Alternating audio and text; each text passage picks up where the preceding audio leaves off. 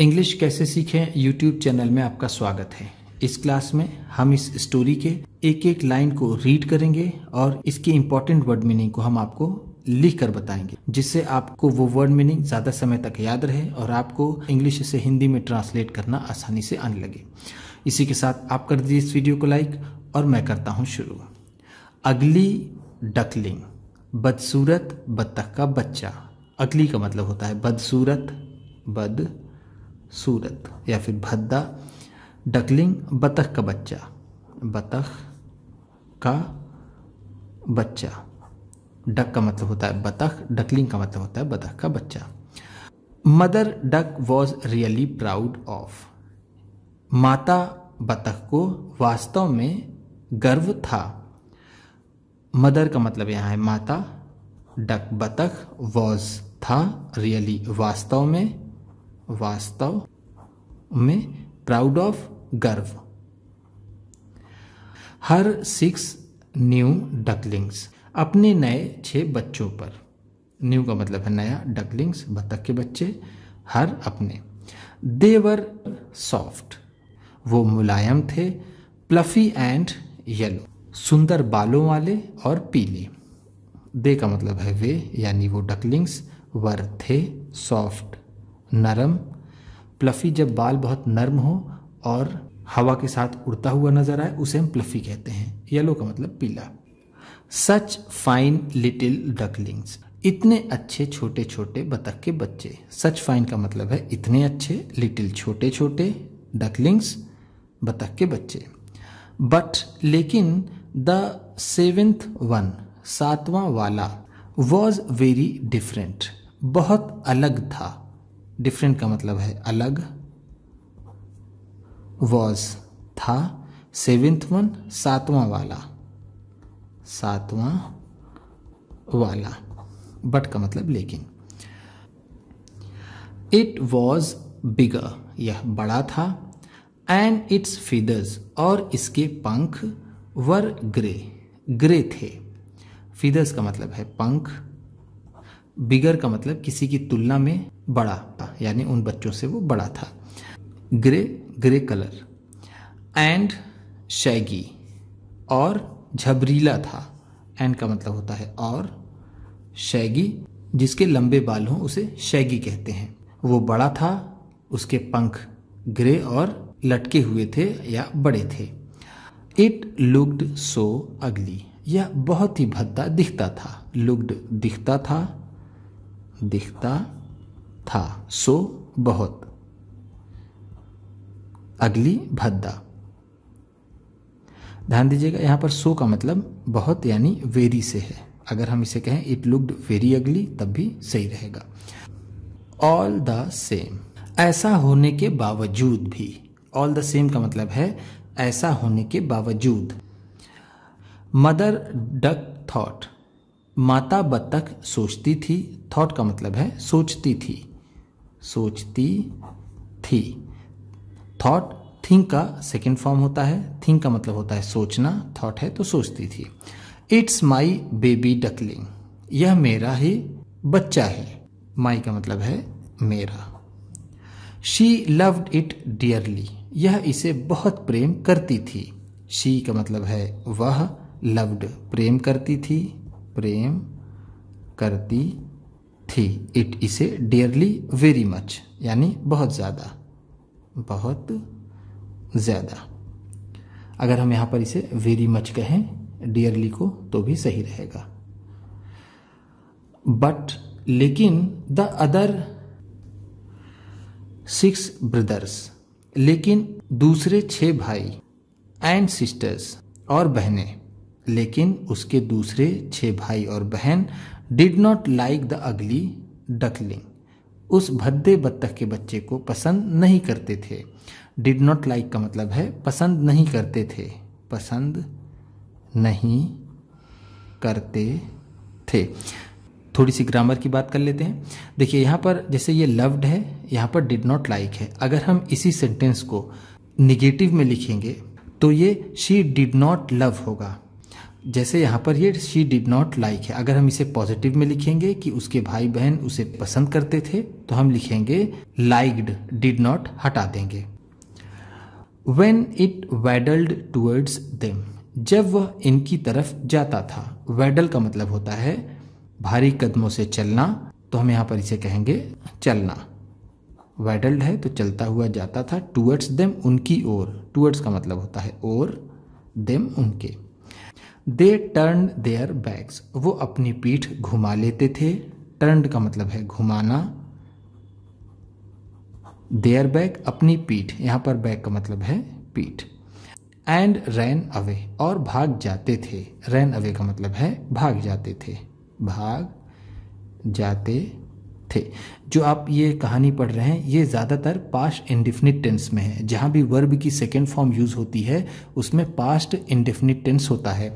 जैसे ये ran away है टर्नड है लव्ड है डिड नॉट लाइक है, ये सारे सेंटेंस पास्ट इंडिफिनिट टेंस के हैं। यही एक ऐसा टेंस होता है जिसमें वर्ब की सेकेंड फॉर्म यूज़ होती है। द लिटिल डकलिंग्स वो छोटे छोटे बत्तख के बच्चे would go far a swim दूर तक तैरने के लिए जाते। स्विम का मतलब होता है तैरना।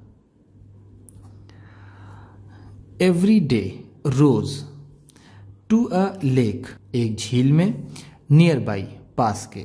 नियर बाई का मतलब है पास के। पास के। लेक का मतलब है झील। एवरी डे रोज। रोज वो छोटे छोटे बच्चे तैरने के लिए दूर तक जाते थे, पास की एक झील में। द अगली डकलिंग, वो बदसूरत बतख का बच्चा wanted to join the others दूसरों के साथ जाना चाहता था। वॉन्टेड का मतलब है चाहता था चाहता था। ज्वाइन का मतलब साथ में साथ में। द अदर दूसरों के बट लेकिन they did not want him लेकिन वो उसे नहीं चाहते थे। देखिए, ध्यान दीजिएगा। देखिए, यहाँ पर ये है, द अगली डकलिंग वॉन्टेड ठीक है, ये पास्ट इंडिफिनिट टेंस का सेंटेंस है, जैसा मैंने आपको अभी बताया था पिछले पेज में। अब इसी का निगेटिव ये है डिड नॉट वॉन्ट चाहते थे, नहीं चाहते थे। दे ऑलवेज स्वयं अवे वो हमेशा तैर कर दूर चले जाते। ऑलवेज का मतलब होता है हमेशा स्वयं अवे तैर कर दूर चले जाते फ्रॉम हिम उससे। He was left all alone वह अकेला छोड़ दिया जाता। वॉज़ लेफ़्ट का मतलब है छोड़ दिया जाता ऑल अलोन बिल्कुल अकेला। बिल्कुल अकेला। द अगली डकलिंग, वो भद्दा बतख का बच्चा, स्वयं तैरता था better than the other ducklings ज़्यादा अच्छा दूसरे बत्तख के बच्चों से। बेटर का मतलब है यहाँ पर बेहतर या फिर अच्छा। वो जो भद्दा बत्तख का बच्चा था, वो दूसरे बत्तख के बच्चों से अच्छा तैरता था। Which did not please them at all जो उन्हें बिल्कुल अच्छा नहीं लगता था। प्लीज़ का मतलब है यहाँ पर अच्छा लगना या फिर पसंद आना। पसंद आना। यहाँ पर देखिए डिड नॉट प्लीज़ है तो पसंद नहीं आता था देम उन्हें। डिड यहाँ नॉट है तो at all not at all का मतलब हो जाता है, बिल्कुल नहीं।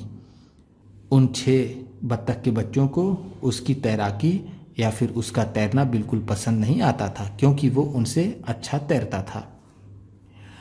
दे टीज्ड हिम वह उसे परेशान करते थे। अबाउट हिज अगलीनेस उसके भद्देपन की वजह से। दे का मतलब है वे, टीज का मतलब होता है परेशान करना या फिर छेड़ना। टीज्ड है तो परेशान करते थे। अबाउट हिज अगलीनेस, उसके भद्दे होने की वजह से। हिज ओनली फ्रेंड वॉज़, उसका सिर्फ़ एक ही दोस्त था। हिज मदर, उसकी माँ, उसका सिर्फ़ एक ही दोस्त था। वो थी उसकी माँ।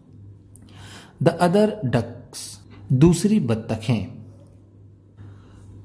टोल्ड हिज मदर उसकी माँ को बताया करती थी ऑल योर डकलिंग्स तुम्हारे सभी बच्चे आर स्मार्ट स्मार्ट हैं, यानी थोड़ा सुंदर दिखते हैं बट लेकिन दिस बिग फेलो ये बड़ा वाला लुक्स दिखता है सो डिफरेंट बहुत अलग।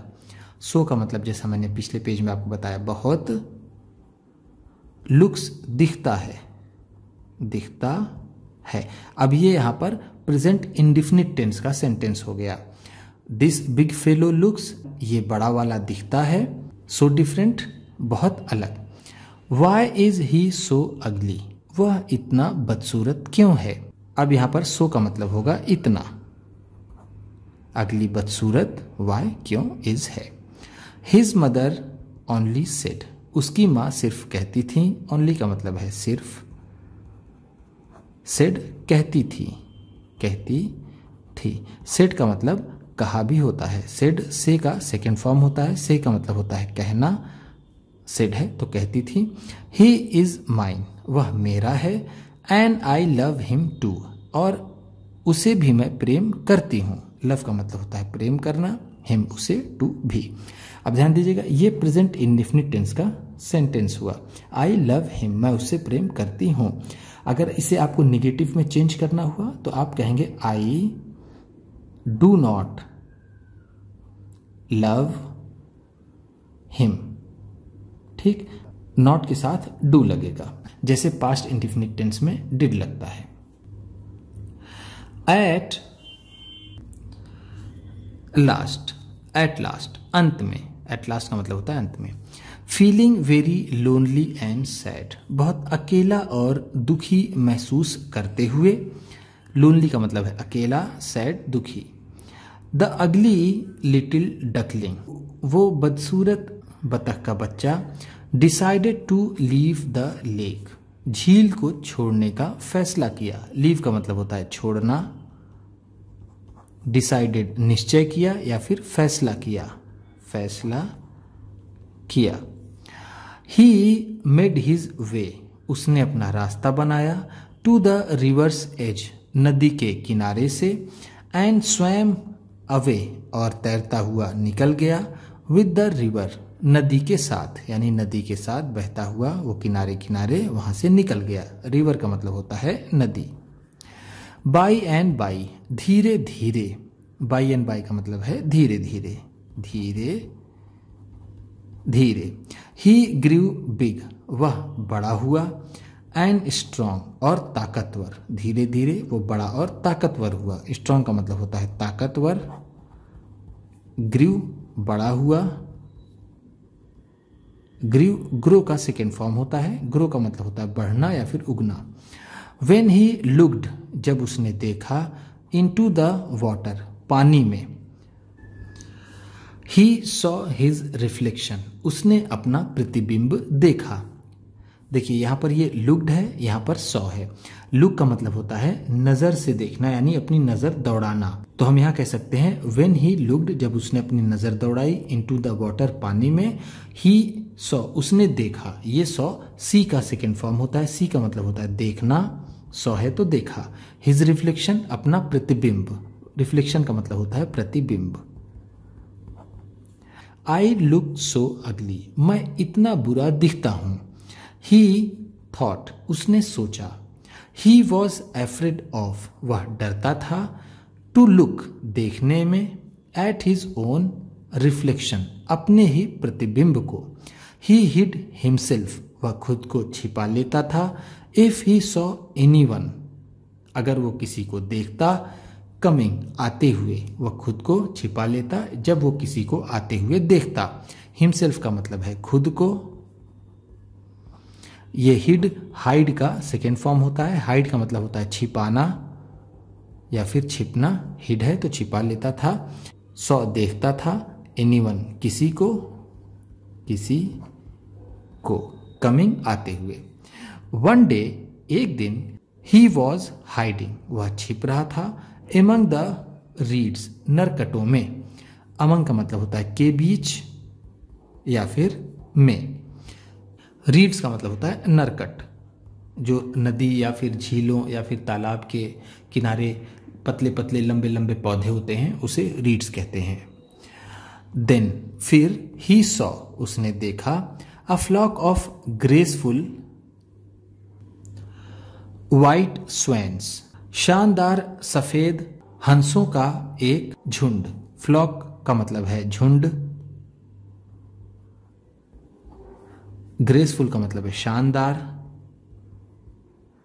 व्हाइट सफ़ेद स्वैंस हंस। सौ देखा। Swim past. तैर कर गुजरते हुए, यानी जाते हुए। पास्ट का मतलब है यहाँ पर गुजरना या फिर जाना। They were the most beautiful birds. वो सबसे ज़्यादा सुंदर पक्षी थे। ही हैड एवर सीन जो उसने कभी भी देखा हो। वो उसकी ज़िंदगी के सबसे सुंदर पक्षी थे। उससे सुंदर पक्षी उसने कभी नहीं देखा था। हाउ वंडरफुल कितना शानदार। टू बी लाइक देम उनके जैसा होना कितना शानदार होता है। ही सेट उसने कहा टू हिमसेल्फ खुद से। उसने खुद से कहा कि कितना शानदार होता कि हम वैसे होते। देन केम विंटर फिर सर्दियों का मौसम आया। विंटर का मतलब होता है सर्दियों का मौसम। विथ कोल्ड विंड्स ठंडी हवाओं के साथ एंड स्नो और बर्फ़ के साथ। बर्फ़ और ठंडी हवाओं के साथ सर्दियों का मौसम आया। विदाउट एनी शेल्टर बिना किसी छाव के, यानी बिना किसी छत के, शेल्टर का मतलब होता है छत, या फिर हम जिसे कह सकते हैं पनाह। द पुअर डकलिंग, वो बेचारा बत्तख का बच्चा वॉज़ फ्रोजन जम गया था इन द स्नो बर्फ़ में। अ काइंड मैन एक दयालु आदमी ने सॉ हिम उसे देखा। ही ब्रोक द स्नो उसने बर्फ़ तोड़ी एंड सेव्ड द डकलिंग और उस बत्तख के बच्चे को बचा लिया।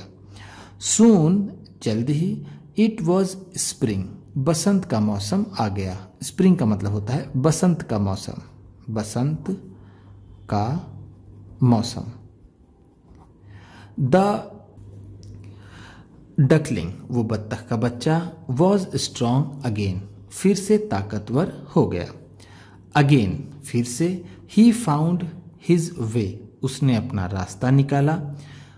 टू द रिवर्स एज नदी के किनारे से होता हुआ। रिवर्स एज का मतलब है नदी का किनारा।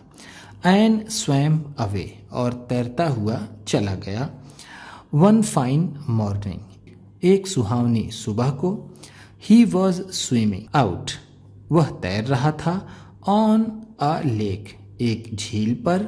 वेन अ वॉइस तभी एक आवाज़ बिहाइंड हिम उसके पीछे से सेड कहा, hello hello, friend hello friend, hello दोस्त। He turn around. वह पीछे मुड़ा टू सी देखने के लिए। सम ब्यूटीफुल वाइट स्वैंस कुछ सुंदर सफ़ेद हंसों को। ब्यूटीफुल का मतलब है सुंदर। इसी का ऑपोजिट होगा अगली। वाइट सफ़ेद स्वैंस हंस। हेलो ही रिप्लाइड हेलो, उसने जवाब दिया। रिप्लाइड का मतलब है जवाब दिया। शाइलिली, शर्माते हुए। शाइली का मतलब है शर्माते हुए। शर्माते ते हुए। They were smiling at him वह उस पर मुस्कुरा रहे थे। स्माइल का मतलब होता है मुस्कुराना। वर स्माइलिंग है तो मुस्कुरा रहे थे एट हिम उसके ऊपर। He just couldn't believe it वह इस पर विश्वास नहीं कर पा रहा था। वन ऑफ़ देम सेड उनमें से किसी ने कहा वाई आर यू अलोन तुम अकेले क्यों हो? वुड यू लाइक क्या तुम पसंद करोगे? टू ज्वाइन अस हमारे साथ रहना? क्या तुम हमारे साथ रहना पसंद करोगे? ओह मे आई रियली क्या मैं ऐसा सच में कर सकता हूँ? रियली का मतलब है सच में? या फिर वास्तव में मे आई है? तो क्या मैं कर सकता हूँ? ही आस्क्ड उसने पूछा वाई नॉट क्यों नहीं? सेट द अदर्स दूसरों ने कहा, यानी दूसरे हंसों ने कहा कि क्यों नहीं? तुम हमारे साथ क्यों नहीं रह सकते? You are a very handsome swan तुम एक बहुत ही सुंदर हंस हो। हैंडसम का मतलब होता है सुंदर। मेल के लिए हैंडसम यूज़ करते हैं और फीमेल के लिए ब्यूटीफुल यूज़ करते हैं। आफ्टर ऑल कुल मिलाकर कुल मिलाकर तुम एक बहुत ही सुंदर हंस हो। एंड वेन और जब ही लुकड डाउन उसने नीचे देखा, यानी उसने अपनी नज़र नीचे दौड़ाई। एट हिज रिफ्लेक्शन अपने प्रतिबिंब पर इन द वॉटर पानी में। हाउ अमेज्ड कितना आश्चर्यचकित।